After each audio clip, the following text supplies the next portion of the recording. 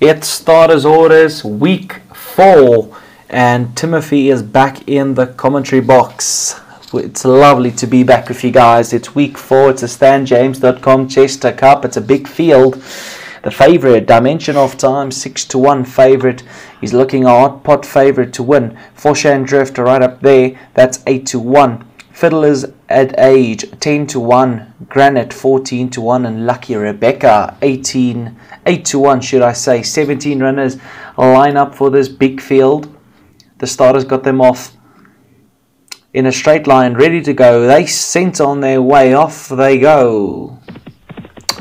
South African Gold got a flyer right up there in the early vanguard. Ralphie Nook is up there. Dimension of Time, the favourite, is a cruising speed at this moment, catching a, a ride in the fourth place. Then you can find Alt Half up there underground, and then you can find Melancholy Cove is up there in the hunt. That's in the white. Six lengths off them as they head into that first turn. A lot of them running out quite wide. Is going to need to use up a lot of energy to settle into a nice spot. There's 15 and a half furlongs left to go.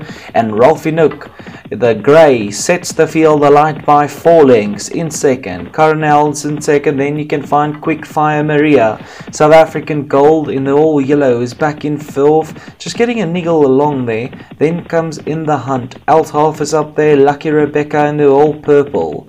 Althoff you can find further back with Granite. Fiddler's at age. Then Dimension of Time, the favourite, dropped down in the middle of the pack.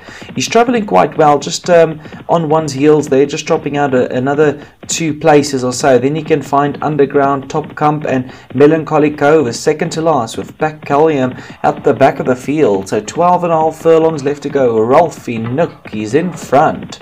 Lucky Rebecca just about pokes his head in front there from Callium. Then you can find South African Gold traveling well is the Yellow Silks. Then Granite, Dimension of Time, the favorite.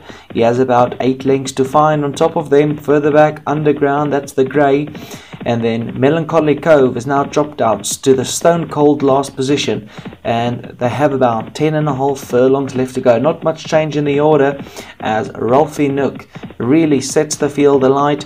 He's only two lengths in front now. Lucky Rebecca starting to make that move upwards. Then you can find Quickfire Maria. Coronelian is back in fourth. Then you can find South African Gold Dimension of Time is up there in the hunt. Also up there, having a good rail run is in the hunt, looking to get a bit closer. South African Gold now getting a squeeze um, on that one's heels. And on the inside, that is Alan Cat Craig is now starting to really feel the squeeze from the jockey there. As they now, the field just starts to really wrap up and you can throw a blanket around the Melancholy Cove. Also from Stone Cold Last has made up four positions now. And that one's starting to move up slowly and steadily. In the hunt as well, making a move. Fiddler's at age, second to last. Seven furlongs left to go. Ralphie Nook, the jockey, just looks behind him. He sees he has a distance of four lengths. Back in second, Lucky Rebecca. Quickfire Maria's up there. Now South African Gold, the Yellow Silks, you can see he's moving up to third place now. Starting to come around them quite strongly. Five and a half to go. Ralph Nook travelling comfortably.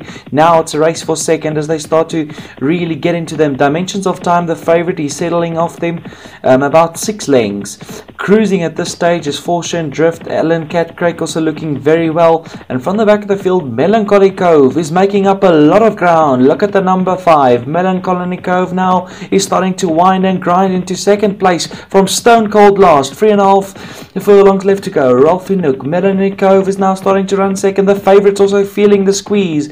Up and, and then you can find Lucky Rebecca, South African Gold. In the hunters looking to get closer. There's two and a half furlongs left to go. Melancholy Cove now says, come on.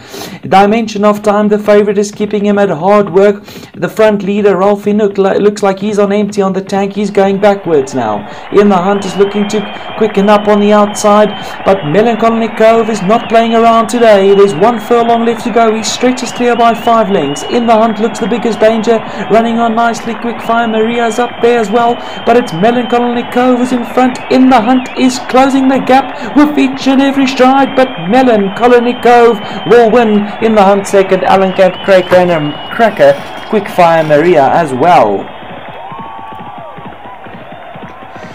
what a race and some gonna have a lot to say about this horse Melancholy Cove 66 to 1. If that's not mistaken, that's Leon in the hunt second. Alan Craig third, and then Quickfire Maria, Fortune Drift, Ralphie Nook, and it's Leon van Rensburg who will get the winner. Look at that position. He was 14th. Um, and he really, really reeled them in each and every stride. This is a cracker of a horse in the making. Watch out for Melancholy Cove will win the StanJames.com Chester Cup